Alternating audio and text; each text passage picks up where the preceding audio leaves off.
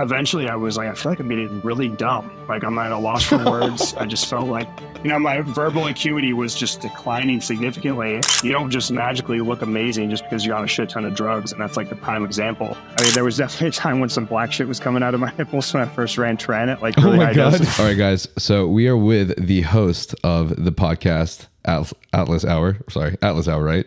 Yeah. And then Yeah, um, yeah, Atlas Hour, yep. Yep, hired by uh, More Plates, More Date. He's done a pod with Vigor Steve, Mark Bell, and I actually first saw his content in a hour long video with uh, Larry Wheels where he picked apart a good friend of mine, Josh Manoy's blood work to determine his natty status, which I thought was a really entertaining video, honestly, because I mean, even though he's my friend, I've been suspect for a while too. You know, why wouldn't you yeah, when you look sure. I'm as still amazing? suspect. I'm still suspect. I'm like, eh. I've seen since being with him, and you know, I was I was talking about like, oh, this is possible that you're on Clomid, but I don't always see Clomid elevate gonadotropins enough when people are on TRT. I've since seen guys come through from other clinics where they're using Clomid, and sometimes in some individuals, it's able to keep their LHFSH looking physiologic. And I'm like, hmm, this is a, you know, so I, I still don't know. I'm still not 100%, uh, 100% convinced. Sorry, Josh. Love the dude. He's awesome, but still not 100% convinced. And he just uh, won Mr. Universe too. I don't know if you saw that from WrestleMania. I did. Yeah, it's, crazy. wild. I mean, he's got an amazing physique. He does. It's funny though. I was, uh, right. You'll probably like this. I was talking to uh, Justin Harris recently. We were talking about guys who either say, I'm natty when we obviously know they're not, or they say I'm just on TRT. And he's like, okay, well, the way that I look at that is if you're just on TRT and you've got this, why wouldn't you just add in the littlest amount of drugs at this point then and become the next Mr. Olympia? Because if this is your natty physique, imagine what you would be like on the smallest amount of drugs, you know? And I was like, yeah, that's actually a very legit point. Right. Oh, whoa. Yeah. Uh, but I know that you are also familiar with a little bit. You know, you've had your own experience with gear as well, right? And um, I think I, sure. I listened to. I don't remember which podcast it was, but I listened to um, you talking about this in in someone's content uh, regarding like the required training potential to actually make significant gains when you're running gear. Everyone just thinks you can like run something and you'll just immediately blow up, and that's Right. not that's not true. But no one really knows that unless they've you know experienced it themselves, right? Hundred percent. Yeah, like I talk about my, you know, like my first cycle was so disappointed. Not super disappointed, you know, but I certainly didn't turn into the thing that I thought I would.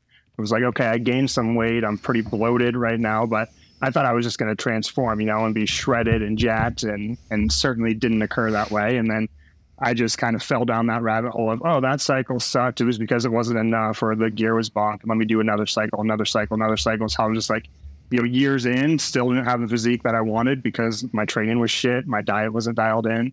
Um, you know, so yeah, I mean, to the credit of even those who are, you know, supposedly natty, I mean, whatever, they're they're doing a shit ton of work on their end. You know, it's not just gear. Right. Yeah. Um, going off of that, do you think you can give us a little bit of your background, a little um, of your experience in the you know the field of human optimization, your story, maybe even a little bit of uh, your experience with gear, if if you're open to it? Yeah, yeah, for sure. Um, so I don't even know where to start. I mean, I guess when I was younger, I don't know. I kind of I had this period in time where I definitely dealt with a, a pretty strong eating disorder. I was just a little skate rat, like super into punk rock, and for some reason, like I was looking up to those dudes who were all you know heroin junkies, and uh, they were all just super thin, and I just wanted that rock star look where you know you're just like all abs, no chest, like you know skinny as hell. You know, you look like Mick Jagger or something, in skinny jeans. And so oddly, I know I just started trying to get skinnier and skinnier. Like I would just skateboard all day and purposely not eat. And then it just got fucked up to where you know I was just losing a shit ton of weight. And when I was like 19 or 20, I was like, all right, this is fucked. Like I'm I'm really unhealthy. Started getting into fitness, and that kind of changed my life because at that time I was just a skate rat and not going anywhere with my life. So I got really into fitness, started putting on some weight, went to college because I was super interested in science now, and just so fitness kind of changed my life and changed my trajectory and, and got me you know towards the path of of going into medicine um, i and ultimately in medicine became a foot and ankle doctor because i was super interested in both orthopedic surgery and um, dermatology and i wanted to work with athletes and sports and, i figured yeah, i could specialize in foot and ankle had i known that i would get into what i do now i know i would have completely uh, picked a completely different specialty but it's all good. Um, but anyways, like probably in undergrad, I started running some gear. Um, you know, because obviously the natural progression of you hit what you think is your genetic potential, um, and you know, so that's when I was probably, I don't know, twenty, probably like 24, 25 when I ran my first cycle, which was just 500 milligrams test. I remember I was uh, I lived in the Bay Area and I drove all the way to Fresno to try to get one vial of testosterone. So I didn't know where the hell to get it, and one guy knew he would do it in Fresno. So it was a way. deep drive. Uh, and then I finally found forums that told me that the gear that I went to Fresno for was bunk. So then I bought it from some random stranger on like professional muscle. Um, ran my first 500 milligram cycle. Like I said, I gained some weight, you know, probably like 10 or 15 pounds, shit ton of water. It was fun or whatever. I did my, I think I came off with like HCG and Nolva or something. And, and then, you know, two months later, I, like any other guy, I was like, fuck, I want to get back on this. And then it was around that time people started talking about blasting and cruising. And I was like, yeah, this makes sense. Why would I ever come off? And been on since then, basically not on gear. You know, I, I pretty much stopped doing any cycles probably three years ago, but I've, you know, habitually been on some type of androgen. So it was like, you know, 10 years of, or eight years of abuse and, and three years off. hmm So by on you mean like now essentially you've just been on TRT or HRT? Right. Yeah. And I'm a pretty, like, pretty small amount of HRT. And it's like, uh, at this point, it's just a fucking hassle more than anything. You know, I, I'm always telling kids who want to jump on it, I'm like, dude, this sucks. When you get to a, a point in your life where you no longer care about this kind of thing and, you know, your Mhm. career focus and everything, like, you know, sometimes it'll be like five days and I'm like, fuck, I've missed like two shots. You know, I, I damn it. I backload, you know, and it's just a pain in the ass at this point more than anything. Now Mhm. I run around 100 to 120 milligrams. Um, I'm you know, I'm not that carry like worried about my physique at this point, you know, just because so much other stuff in life is going on. Uh, Mhm. but it's able to maintain. I feel normal. You know, Okay. I wouldn't. I wouldn't go back on what I did. Like, uh, I think I was on Fouad's podcast. I was like, yeah, I did all this shit and I don't have anything to show for it. And uh, somebody in the comments is like, this dude keeps saying he doesn't have anything to show for it, but he, you know, he made this career off this. I'm like, that's true. So I don't, you know, I don't regret doing all the stupid Yeah. shit that I did. Right, 'cause right, right, I definitely have an interesting perspective. No, I, I I really enjoy your perspective, and I kind of resonate with it a little bit myself because, you know, I kind of did a lot of stupid shit as well growing up, not knowing what I was doing as well. So, all this, this podcast, everything is literally just a resultant of me going through the pain and wanting to share it with other people. yeah. Exactly. Yeah. So I mean, you, you learn a lot that way too. You know, Mhm. like like I said, I didn't train in endocrinology or anything, and um, and I think that that's probably a, a positive for me to deal with guys like us. You know, because I would have just been book taught to like one injection of 200 milligrams of testosterone every two weeks. You know, and and the guys feel awful on that shit. And so I, you know, through a lot of trial and error and self experimentation, I was able to learn a lot about what goes into hormone optimization or hormone abuse and how to do like safer use models and everything, you know? If you don't mind me asking, have you ever considered or have you ever tried coming off and doing like say HCG and then clomiphene or deciding to just you know come off TRT? Since I know you were mentioning too that it's a little bit annoying at this point.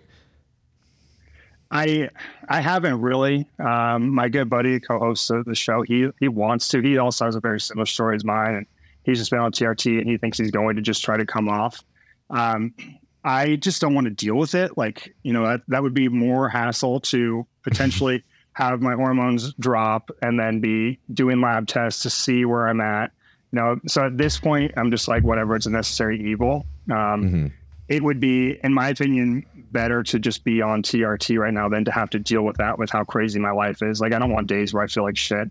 I hate and clomiphene and clomid. Like, most guys feel awful on them. Um, so I personally am just like, fuck it. I'll, I'll be on for life now, probably. hmm I How about you? Have you ever come off? my experience. I'll just say it real quick because I've said it a thousand times too on this podcast as well. But Yeah. um, basically, uh, I didn't, I didn't, I didn't really ever have an intent to take PEDs uh, when I was when I was bodybuilding. But I didn't also like I had no, I had no perception of who was taking PEDs. I had no perception of PEDs even in sports. You know, I.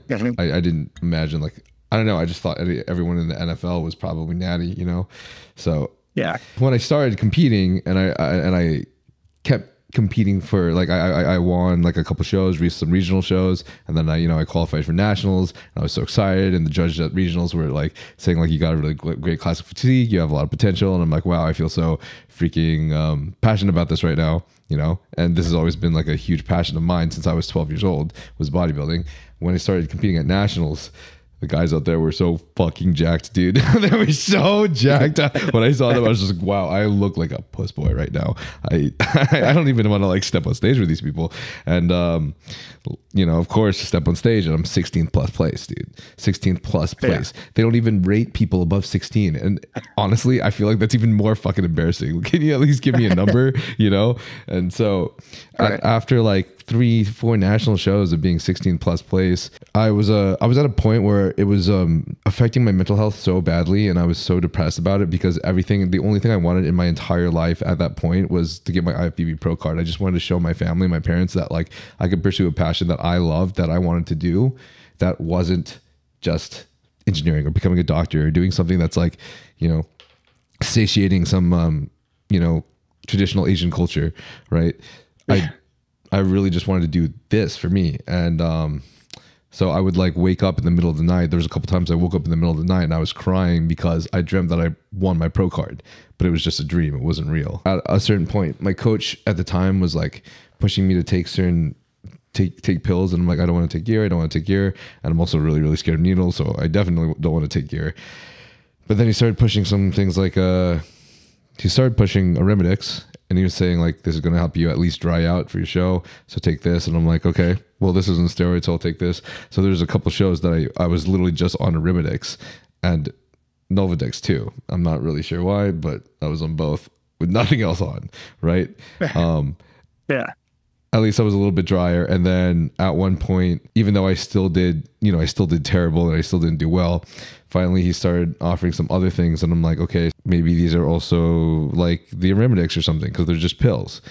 But then after okay. I started taking it, I talked to a friend. I was in the car with a friend. He was like, "What are you on right now?" And I'm like, "So I'm I'm on Arimidex and I'm on Halotestin." And he oh, turns oh, to me and he's like, he turns to me and he's like, "Bro, Halotestin's a a steroid. Not only is it a steroid, it's a fucking steroid, bro. Yeah. Yeah. And so um, that's when I realized I was no longer natty. And at that nice. point, I was, I, I don't know, I, I was kind of in shock, but I was also kind of just like, well, that wasn't so hard. it wasn't so hard to True. just take a pill. And I guess now I'm not natty anymore, so I might as well go all in. So I ended up winning my uh, national show on Winstrol and Halotestin. Uh, and oh, no um, injectables. No injectables. Uh, Well, I mean, I didn't even know what I was doing. You know, I just took this stuff and right. coach. It was 10 milligrams of of 10 milligrams of halotestin and I believe 50 milligrams of Winstrol. And um, I was full as hell. That's for sure even though I was like really lean, I was definitely so much more full on stage, a lot more dry. And then afterwards, I won my pro card, super happy, and then uh, depressed for six months. Hardcore depressed. Yeah. That, it's crazy that you made it to like the regional level natty, you know, like not even knowing what other guys were doing. Like that's that's kind of the point that I try to drive home to a lot of guys. It's like you, know, you I know you kind of you feel like you may have fucked up, but you also did it right and that you built a probably significant base. You know, I haven't seen pictures, but I'm guessing if you mm-hmm. even to make it in 16 plus in that kind of a pool, that's a pretty decent physique. You know what I mean? In, in my opinion. Yeah. So like that's kind of the perfect time to add something in. Right. Where there's so many guys who are like starting out and they're just starting out. They haven't even learned the basics of progressive overload and they want to hop on some shit. Right. And then my biggest pet peeve these days is that everyone calls it TRT. And I'm like, you know, TRT is that's like replacement therapy. You're conflating TRT and steroids. And I don't know, like I'm a bit older than you, but do you remember the days of like CellTech when everybody uh, used to just joke and say they were on CellTech? Uh, I do were remember CellTech. Yeah, yeah, yeah. Well, there was a there was a time in like the bodybuilding, like the Miss Forum times, like that was the way that you said that somebody was on steroids. You would joke and say that dude's on oh, CellTech because okay. yeah, they used to have like the before and after pictures, which was like you know this skinny dude, and then the next was like a sauced out guy. So you'd be like, oh, That's that dude's so on funny, CellTech. Bro.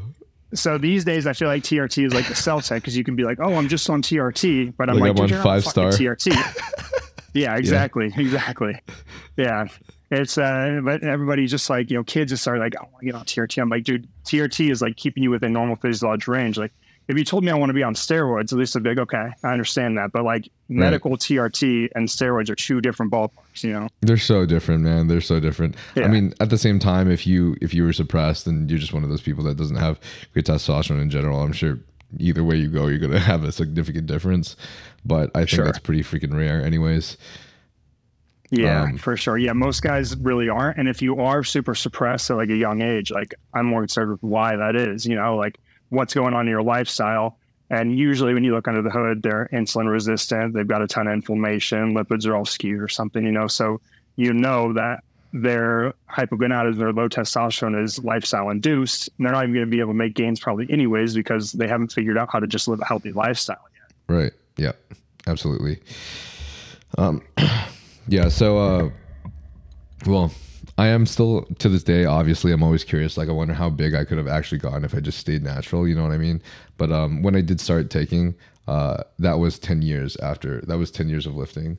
But I started lifting at 12 years old. So sometimes I wonder, like, just how much of that, like, 12 to 16 years old, you know, those years really, really made an impact. I do think after Probably seeing a lot. lot of yeah, actually, I do think like even though, well, now I think this. Before I was like, oh, I probably didn't do much because like you know when I was twelve, I like didn't really have any testosterone. I was pretty pu- you know pubescent, but there is really something special about that like. Yeah, that, yeah, pubescent testosterone, right? Um, and I For think building that foundation as a kid, just like you build that foundation in your mind when you're learning as a kid, and a lot of those things stay with you. With you, I I feel that muscle memory is the same thing. Yeah, there's an insane like that's the first time your your cells are ever exposed to androgens. You know, it's like a robust response. I mean, kids like change in front of your face. You know, like you're like, holy shit, that dude just aged, even though he walked out of the room and came back. You know, get they're aging so quickly. Mhm. Um, so those years are crazy. Even when it comes to like think of like libido, like so many dudes are. you- They feel like their libido isn't good anymore because Right. they're not beating it ten times a day like they were when they were yeah, a kid. Like just I don't exactly care. yeah. Yeah, like I don't care how much gear you run, like you're never gonna have that crazy libido before because No, your yeah. body's not used to androgens. Like it's so strong at that point because it's so novel, you know. right. I miss that feeling sometimes. For sure. I mean, I Oh. think I feel like if you do like enough like trend or something like that, you know, you you get kind of similar. Probably, but I can tell you one thing, and I'm. I, I feel like this might be this might as well be the time. I was going to maybe talk about it in a YouTube video someday, but I've talked about it a little bit on Vigor Steve's podcast, and uh, so I decided to do a little experiment myself, and um, I finally tried the Nandrolone only, the Deca only cycle that. Uh, like I don't know if you know D-Trend, but D-Trend's talked about, and I had it on my podcast, and it was a reel that like went really viral, and a lot of people were just like arguing in the comments and shitting on like Nandrolone only and stuff. But you know what Nandrolone only is potentially for? You know, it's like an option for men who don't respond well to to- testosterone, right? But then like Right. some other guys in the industry, uh, I don't remember his name exactly, but you know he experimented with blasting Nandrolone only, you know, and then maybe adding some like estrogen. Tyan Clark, I think. Yeah, Ty Clark, exactly. Yeah, yeah, Yeah. So I did my own experiment with it, and uh, the reason I did it is because when I was using PEDs, I always felt very aggressive and irritable, and I was thinking Okay. that was the testosterone. When I went on Nandrolone only, when I tried Deca only, I was so chill. I was so relaxed. I didn't care nearly as much, but I didn't care so much that I gave I didn't give two shits about any girls whatsoever. Any of them whatsoever. And it's Right. lucky it's lucky that I was single, honestly, because I realized that would have made a really negative impact on my relationship.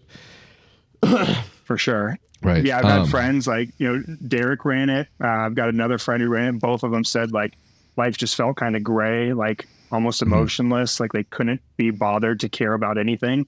I've never Mm-hmm. done it myself, but that, that's usually what people report. I definitely still cared about like my work and a lot of stuff, and I think that's I think that's something mental. I think that's like the whole little like the the nurture of like how I was grown up being Asian, and you know how they're all also. Pr- pr- I think that that stuck with me, but like the testosterone drive and stuff. Now that I'm back on testosterone, I can tell you it's fucking amazing. like How long were you on Nandrolone for? Just so, Nandrolone only. this is embarrassing that I don't remember on the top of my head, but it's in my notes, so I can look at it real quick if I need to. But it's either nine or twelve weeks. Oh, gotcha. Yeah. And also another interesting thing, uh, I was shedding a lot in the beginning, but after about four or five weeks in, I stopped shedding and my hair stayed, which was really, really nice. Um, but I'm assuming that's because I stopped finasteride and maybe I was having a rebound effect from stopping finasteride. Yeah, likely so. How did you, how was your like cognition with nandrolone only and finasteride? Where the, did they overlap? So, what, what do you mean cognition with a finasteride? Well, I mean, like a lot of guys will run into like brain fog and just like lack of mental clarity when running uh, finasteride, and I've actually experienced that a lot on nandrolone too. So I was wondering, like, that seems like a, a terrible combination Yeah. for myself. you know, I was running finasteride up till then, and then obviously jumped off of finasteride because you know nandrolone converts to DHN, right, not DHT. Uh, so in that, to be honest, I, it was it was it's it was a very subtle difference, but and I couldn't tell if it was psychological because I knew from my own research that nandrolone isn't beneficial for your cognitive function, and honestly can cause your cognitive function to degrade over time, right? It so I, I I was I can't tell exactly if it was psychological, but for a fact, I definitely felt more foggy during the entire cycle, um, and towards the end of the cycle, I started having an anxiety of like, am I like am I like thinking slowly? Like, am I actually affecting my cognitive function and all these things? And that's when I decided like maybe now is a good time to to switch off the experiment and go back to testosterone and I don't think I'm ever going to go back, dude.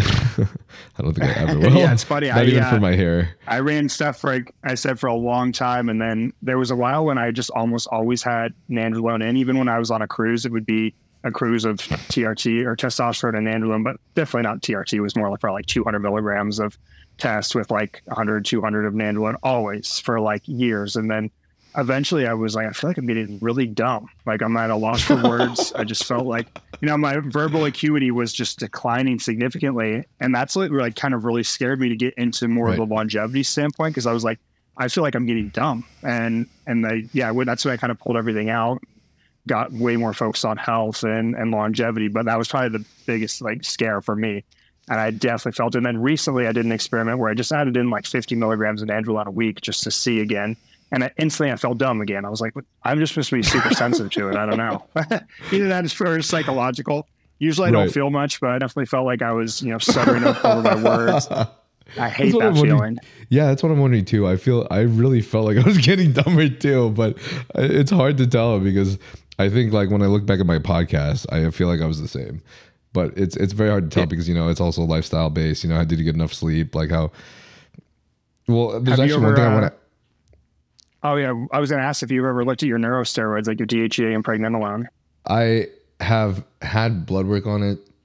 I don't. I don't even know what to tell you. To be honest, I I, I really Gotcha. don't have any uh, information on it. I just remember One thing I noticed- seeming fine. When I was going through that, was my uh, my DHEA pregnenolone were super low, which is pretty common in guys Oh, who you, start when gear at on a young age. Okay. Yeah. Yeah. Yeah. Yeah, well, when I felt like I was stupid, you know, and I, I got my labs and I was like, oh shit, my preg is basically undetectable. My DHEA was like double digits, super low. And supplementing with those and getting those into a better range significantly helps. that's something that I I want more knowledge on and I want to understand better. But I've always been conscious of is like, should I be taking DHEA? Should I be doing um, pregnenolone? Um, and I know like you know having a lower DHEA will also affect your GABA and going to sleep and everything. So I just Yeah, I just. I, I just bought GABA instead from Amazon just in case. But um, Bad. going back real quick, I uh, I I realized that the, the reason I was feeling irritable and everything wasn't testosterone. It's because the only times I ever r- ran PEDs, I was always on TRT in the last three four years. Um, the only times I ever ran PEDs is when I decided to run either Primo or Mast because I wanted to look more dry. But after over, but mm-hmm. after you know com- compilation over time, you know the DHT was like so high in me, and I think just the DHT was just unproportionally high compared to everything else that I was very restless. I was very irritable. I wanted everything to be perfect. You know, like it was just, it was in a really good state of mind, and it was, diff- d- d- it was very difficult on my mental health. So Yeah. What was your estradiol like during the time? oh, it was low. Yeah, it was always low. Were you trying to get it a low or was it just low due to like the, the primo masteron? Both. I wanted to make sure my estradiol was in a reasonable range, but it was hard. it, was just it was I didn't I, I didn't know that I could like supplement estrogen and I wouldn't even know where to get it to be honest. So I wasn't doing that. Right. So it was really it was pretty low the entire time. Like I feel like it was like 20 would probably be the higher end, maybe maybe like 14 to 20 or something like that. When compared to probably super high androgens, yeah, that's right. pretty damn right. like well. Yeah, I honestly feel like like estrogen makes me feel really good. I'm happy that through all of my stupid times, I rarely ever ran AIs. Um, I would let my estrogen get pretty darn high. You know, I would get some nipple sensitivity in the beginning of mm-hmm. loading something up, and then it would usually die down. I mean, there was definitely a time when some black shit was coming out of my nipples when I first ran Tren at like really oh high God. doses, which is crazy. Yeah, that was crazy. I was like, I remember being at, uh, I was like at Target or something. I had like a stringer on. I like scratched my nipple and I looked down. There's like some black shit. I'm like, oh my god! I'm like super embarrassed. Yeah, I'm like trying to hide it. Like, what the hell was that? Uh, it's probably just because my prolactin was probably sky high but other than that, like, Damn, I dude. don't really have any estrogenic uh, side effects. I feel like black? it was. It was black. Yeah, it's weird. I don't. It's, it's like so interesting. super common. That dude see the black. I think it's from the prolactin. I had a friend that um, sorry, he's he's a he's he's not he's not around anymore. But um, I I know he wouldn't mind me talking about this because he's the best dude in the entire universe. He had lactating issues, like genetically lactating issues. Like he would like you know, he, he was one of those guys that was for some reason he was just prone to lactate, even though he was a very like manly person. But yeah. um I remember him trying Tren at one point and he would just have these issues where it was like lactating all the time. And it was like, you know, it was fucking white, obviously, because he's lactating. So hearing that you right. uh, had black stuff come out is great, crazy, dude. Yeah, dude. It's that like was like going Spider-Man. on the forums, like searching. I'm like, oh, other dudes are getting this too. All right, we're good. We're good. I'll keep going which oh, is crazy. You know, as long as as long as other people had it on the forums, like we're good. Keep going. I'm not worried. that's Bad. crazy, bro. That's a funny story. That's that's good for me to know. I've I've been I still haven't taken Tren yet. Um, just oh, you haven't? Wow. I, I it's one of those. It's like it's like a one experiment that I'm not really that interested in doing, but I feel like yeah, dude, you be, look sick already. Thank you, dude. Thanks. But like you know, I, I, do like Olympia is one of my biggest passions in the entire universe. So I'm considering that maybe it might be helpful at some point for like a prep. I mean, if you get to like that level, then of course so. But if you've already built the physique that you have now without it, mm-hmm. like it's really not that amazing in my opinion. I'm sure there'd be a ton of people in the comments like, "Fuck that! It's, the greatest thing ever." You know, because kids these days just hop on it like first cycle. Um, I really like sometimes I felt like it was almost a hindrance to my gains because of all the negative side effects that came along with right. it. You know, like sleep right. was fucking awful. I would yeah. maybe get four hours of sleep a night. You know, I would be, I would wake up in the middle of the night just drenched in sweat, like not uh-huh. just a little sweat. Like it's like where there's a puddle underneath you and it's freezing cold. I'd have to like go get a, a towel and try to like lay that down. And then I wouldn't be able to go to sleep because you just wake up like sympathetically driven, like, let's go. Um, so right. I would usually just like go eat or something, watch TV, wouldn't really sleep. And then you get these weird bouts of hypoglycemia. Like, definitely remember being in workouts and like 10 minutes in, I'm just like about to fall over, even though I've just had a shit ton of carbs. It's like a rebound hypoglycemia, hypoglycemia rather. It's crazy. There's just so many random, like, nasty side effects with it. Like nowadays, I think people run it at a lot better doses, but back then we were taking such high doses. It was like counterproductive to the work that you would need to do to maintain the physique well, now that you told me that the the black lactating story too, I'm going to definitely There's reconsider. I definitely feel like it's uh, like I said too, like the libido. It's like, man, I would never want to do that if you have a like a relationship because like I was just like a fucking deviant, you know. Like there would be times that you would just have like so many girls and I don't know. I just they couldn't be satisfied enough. And for young guys, I'm sure it sounds awesome. At this point in my life, I'm like, yeah. I don't know what the fuck I was doing. It was the stupidest shit. Um, yeah, but absolutely. it was like, you know, for trying to dial in business or anything, like it would just be so impossible to do so because you just like can't be satiated. You just have this like insane appetite for right. anything like risky kind of too, especially if you run something like Caber and and you just have insane dopamine overload. It's a it's a bad combination for success. insane dopamine overload. Uh, I think yeah. that's uh, I think that's a really big issue in the bodybuilding industry that nobody ever talks about too. And I've I've it, it's guys a lot of a lot of guys in the bodybuilding industry um, have some issues with loyalty, you know, and it it's most definitely because of the androgens.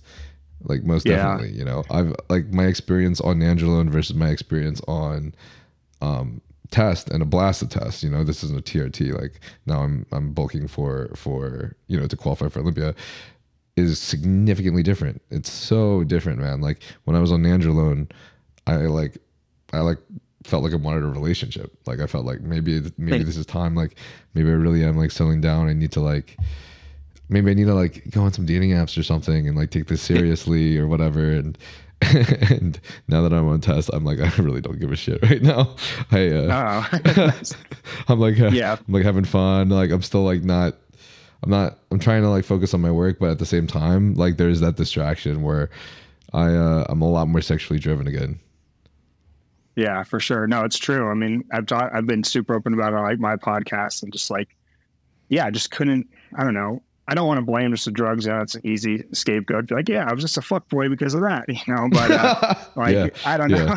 It was uh, it was definitely made it a lot harder to be loyal and and so, like, yeah, I just didn't care. It's crazy. I can't believe I got anything done with all the crazy shit that I was doing outside of like school and the gym. You know, I was like, wow, Mhm. Now what a fucking waste of time is how I see it now. But of course, like when you're younger, yeah, like when you're younger, I think everybody should go through that phase. Like I literally Right. just made a post last night. Like my my family is now like my success hack. You know, it's like being committed to them helps me to exceed and, and propel my life. But when I was younger, like I would not give up all the stupid shit that I did because it, you know, I learned about myself, I learned about others, and and now this is important to me. But then, like I had to go through that. You know. Yeah, I agree with that wholeheartedly. I think um, Yeah. no matter what, even if you're if you're on androgens or not, you know, your experience, your first time experience is like the most stimulating one. But once you've had that experience, at least you know, right? So I think Yeah. uh, I think most people, maybe not everybody, but most people probably need to experience a hoe phase. at least For sure. Yeah. And that's actually an interesting thing that I've talked about with uh, like TRT, even too. Like, you know, there'll be some guys who maybe have been very low in androgens their entire life. And I saw it happen to one of the patients that came through. Like, it's like this perfect, like, you know, white collar church boy, married right away, kids. He got on TRT for the first time and went and like cheated on his wife immediately in Vegas and stuff. And he was like, came back to us like crying, like, I would Oh have my never God. done this before. And I'm like, yeah, and I, I guess I never really thought about the psychological parts of that because you know a lot of us have been through puberty and and having high levels of androgens already and fucked around a lot when we were younger. But a guy like that who had never experienced that, like literally, will tell guys like, imagine going through puberty again, but now you have a six figure career and you know all the stuff that you can get the girls that you couldn't get when you were going through puberty. So you're literally going through puberty again now. So the temptation's going to be solid. You know, you you really got to be like get all your stuff in line before going on. Yeah, the mentals are serious for sure. Um, this is a weird experience that a lot of men aren't so keen to hear from me a lot of the times, but I've had a long experience with a open relationship. I was the most jealous kid when I was a kid, but through the open Mhm. relationship now, I feel like I can almost never get jealous, like ever.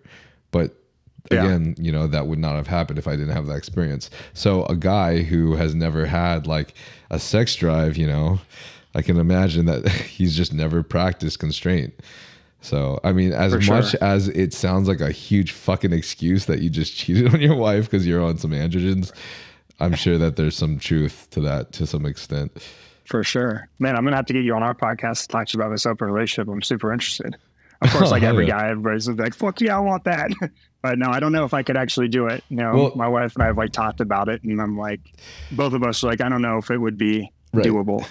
To be completely honest with you, I'm not sure if um, I feel like a lot of people on social media that comment, a lot of the guys on the social media comment might be more um, leaning towards like say the red pill industry or the red pill community. But uh, honestly, most people that most guys that hear about the open relationship aren't like fuck yeah, I want that. They're Right. more like why the hell would Oh, they just want like- it for themselves. yeah they want Yeah, it for they don't want the girl themselves. to go off. Yeah. Exactly, absolutely. Like it, anything that's related to the girl going off or whatever doing that is like a one hundred thousand percent no, and like red flag and like total L for them. Which, Right. yeah, I, I get it. It sucks, bro. It does suck. But I don't know. It is weird though that you brought It's up like like, a- being it's like super jealous when you were young because I was the same way. I've seen a lot of young guys be that way too. Like I used to think I was like something was wrong with me, how jealous I Mhm. was, and now I'm like the antithesis. Like I'm so not jealous about things. Like I like want to hear if somebody hits on my wife or something, you know. I'm like, oh, No, that's yeah, fucking yeah. cool. Like, Yeah. yeah, it's so different. Like before, I would have been Right. so. I don't know. That was a weird change in my own Mhm. neurochemistry too. But when I was younger, I was insanely jealous. But I don't know what it was that changed in me. I, I believe it's the time under tension. Like, um, if you're not, you're not going to become a piano legend unless you've put ten thousand hours in the books. So if you Right. spent ten thousand hours with your girlfriend, you you're going to get used to her naturally. Um, and so obviously, to be a good relationship, you know, have a good relationship, you must look at them as a new person every day, right? But Yeah. you know, it's it's easier to look at them as a new person if you also have guys coming up to you and being like, "Bro, your wife is," you know what I'm saying? True. If if there's Yeah, other people giving sure. you a reminder, uh, that's what I believe. Yeah, definitely. That's interesting though. Yeah, I'm sure. Like, uh, it's weird. Like, I never really got into that red pill thing, but like, I, you know, I was listening to uh, Max Tuning had those fit and fresh dudes on, so I was like listening to them. Oh yeah, they were yeah. talking about like, yeah, talking like for them, it's like just understood from the beginning. Like, the guy will go off and cheat. However much that he wants, and the girl is like, she can't, and I'm like, what the fuck? This is crazy. I can't believe people actually convincing their girls to be down with this. This is wild. It is pretty nuts. I mean, at the same time, It when I was in my open relationship, I definitely did a lot more than she did, um, and I think that was naturally. But uh, at the same time, guys look out for girls as someone to lay their fucking sperm into, and girls look for guys as someone that's a potential partner. So they're going to be a lot more choosy. But when they finally choose, they're also a lot more susceptible to leaving their partner for the new for the new person. So it's like, a give and take. But you know that's why it's super scary for dudes too. You know, because Yeah, I get lose that. I feel love of your like- life. Yeah, yeah, for sure. I feel like I was way more worried about stuff when I was younger, and now it just feels like that's the last thing on our minds. You know, that way we've got like career and, and so many things, and Yeah. maybe one day when we're like fifty, she'll you know have some midlife crisis and want some young dude or something. I don't know, but right now it's like the last thing we're worried about. I'm like, it's just crazy to me even think about like that kind of drama. Like in my 20s, yeah, that was huge. Now I'm in like mid 30s. I'm like, it's crazy to me to even think about drama like Right. that. Like we just don't give a fuck. Yeah. I think that's how Yeah. I think that's very natural to change with age. So I'm sure that's not going to happen Yeah. to you guys. Plus, Yeah, I hope Um, not. I hope not. yeah, I'm, I'm just I'm trying to learn myself, bro. I just I'm trying to learn myself for myself to make sure that I, I have a good relationship in the future. yeah, I think you will. Like one day, it just kind of like it took me a while. It wasn't even like well, ironically, about two years ago when I got off all the drugs was about the time that I was like, "Huh, this is a really bomb chick. Like I'm just gonna settle down," you know. so maybe there is more to his androgens, but um, Yeah. yeah. it was for sure like just something switched where I was like, okay, this is like what I want to do in life. You know, I don't need to be fucking around anymore. It just seemed like a hassle and too much work and Right. I was like, I can I can be a lot more successful if I just like dial in with this person and we help each other to you know hit goals in life. hmm So cycling back a little bit to uh, the cognitive stuff that we were talking about earlier. So I got this random question. I'm not really sure if this is uh, this aligns with your field at all in any possible way, but I was just thinking about it. Sure. But I drink cyclic dextrin. This is literally, you know, cyclic dextrin. So Yeah, I drink this so much, bro. Like, yeah, I'll drink it during my workouts, but I also drink it during my podcasts because, you know, the moment I start drinking it, I feel like my cognitive function increases significantly, right? And so, interesting. I mean, what I believe this to be is just because my blood glucose is rising, and you know, higher blood glucose will also affect your brain functional con- connectivity, right? But I was Yeah. just wondering if you knew anything about this or heard anything about this, because I don't know anyone else that like I know people that will like eat sugar and it'll like, you know, they'll it's like kind of like caffeine and a sugar high. You know, your, your mind starts racing, but Yeah, I mean, I feel like it's hard because with this, I feel like there's a big placebo agent, right? Like for the longest time, there there was this crowd that was always like, you know, eat a good meal before taking a test or something, get a lot of carbohydrates, kind of like what you're saying, like you're fueling your brain. And I feel like you believe you're fueling your brain, and maybe you're getting a placebo that you are. Then there's this other school that's like, oh, I feel so much better when I'm fasted. And when you think of the physiology, like Yep. it, it actually makes sense because you're fasted, you're so fasted that your body increases norepinephrine, uh, adrenaline, because it's kind of thinking that it's starving and it needs to increase the neurotransmitters to make you more alert so you can go hunt and, and find food. And so Mhm. it does make sense that maybe you would actually be more mentally aware when you were fasted. But you know, I don't know. It's same with like workouts. Like Yeah. before, I remember at one time people would be like, work out before you go study because it makes you, you know, so much more mentally clear. Then we have people like Vigorous Steve talking about working out gives you brain fog, and now everybody thinks they have brain fog after a workout. And so I don't know. I think you got to kind of find your own, you know, thing that works. well, I, I, get afraid like saying anything because I'm like, fuck, I might mess up somebody's placebo, you know? Workout gives you brain fog for Vigorous Steve because Vigorous Steve is a fucking animal. That's why. Exactly. He's giving Yeah, himself know, brain I fog. mean- Yeah, I think for the longest time I thought too, like, oh yeah, workouts are good. But then I like thought about it. I'm like, yeah, actually, I'm pretty fucked up for like a heavy leg workout. You know, you're just trashed. Yeah. I can't even focus. right. So I definitely agree with him there. But uh, it's just interesting because you know, same thing with like food. You have one camp it's like be well fed. I need a lot of carbohydrates to, like you said, give your your brain glucose, and then the other camp who's like, no, I want to be fasted, low insulin, low glucose, high uh, epinephrine, so I can focus and, and dial in more. Mhm. Well, something, some anecdotal evidence for you, from me personally, because I've done a lot Yeah. of experimentation with myself for this. Because I don't know, I'm, I'm just a little bit obsessive on like diet and experimenting, and I've tracked my food for the last like five years or so. So you could ask me whatever I ate any day in the last four or five years, and I could tell you on my app. But I did five years straight. My fitness pal. you did too. I stopped about two years ago. Yeah, five Nice. years straight. I was like, it got to a point where it's like, I'm not letting a day go by. After like three years in, I was like, we're going five. I think it's just the scientist uh, or whatever the math nerds and us. We like to plot our data. But For sure. um, what was I going to say? What was I talking about? Okay, yeah, Anecdotal for the yeah. So fasted, absolutely best. I, I feel the best cognitively. I can think, I can focus when I'm fasted. It's amazing, right? When I eat Yeah. carbohydrates like rice, it slows down significantly while I'm digesting that food. And then when the blood glucose goes down, whenever I have a blood sugar crash after I've eaten a lot of rice, I'm like about to fall asleep. So I'm definitely not in a good cognitive function. If I have enough glycogen in my body, I'm sure I'll feel, I'm sure my cognitive function will be great. But if I'm in a good fasted state and I have a lot of glycogen, that's when it's going to be optimal. If I'm in a depleted state and I'm fasted, a very depleted state, I'll start having brain fog. But if I go into ketosis and I have enough fats, then that changes, right? Yeah. Now, if I'm fasted in any state and then I drink this thing, cyclic de- dextrin, you know, fast gastric emptying uh, carbohydrates that supposedly, I guess they say, shouldn't be spiking your blood sugar. It's still fast carbohydrates, right? It's still going into your system fast, but there is no cognitive hit from having to digest food. Like when you digest fiber, your brain slows down. Blood rushes to your gut, right? Especially when you digest protein, you know, that happens too, even Mhm. more significantly. If I just drink this, especially if I was in a fasted state or I wasn't really digesting a lot of other food, dude, my brain just starts racing. I'm like, I'm ready to go. Everything's great. Like that's like the most optimal brain state that I've ever been in.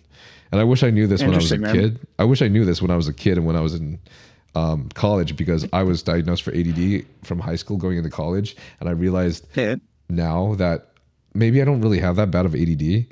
Um, it does still help me if I take Adderall, but uh, my diet was just absolutely dog shit when I was a kid.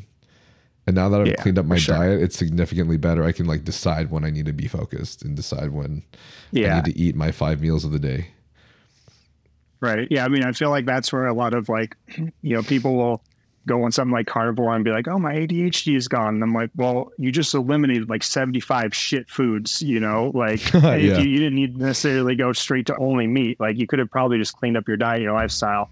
And if that's what it takes, then cool, whatever. But yeah, I mean, that's super interesting anecdote though. I've never heard that about the cyclodextrin. Now I need to try it Yeah, yeah. Let me know. Let me know what you think. for sure. I think I've got some somewhere in the cupboard in there. I'm not Yeah. sponsored by them, but I take Super Carb because it's just so Nice. Who, what, uh, what company is that? good. Super Carb is a uh, NutraBio. Okay.